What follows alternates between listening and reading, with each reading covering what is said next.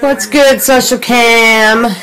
Yeah, I'm still a little bit sick, but I just want to see what you're all up to and what you're doing today, and hope you're having a really great day. Um, I know that I am just tired and worn out, but I gotta go back to the farm a little later, which I will do. I'm just hanging out with the dog. Mr. Tanner! He's in the kitchen laying down, so he's tired. But I just want to say hi to everybody, and um, I love you guys, and I miss you.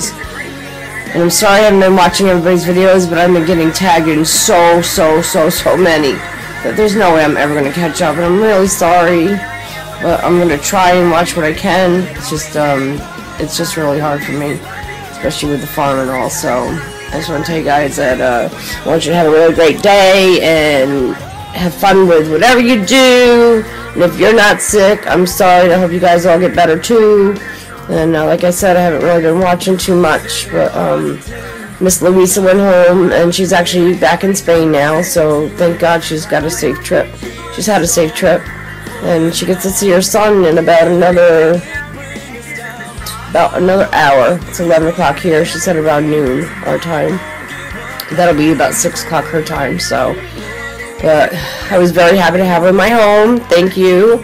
And uh, also, Miss Bonita, you need to come back, baby. Urkel misses you.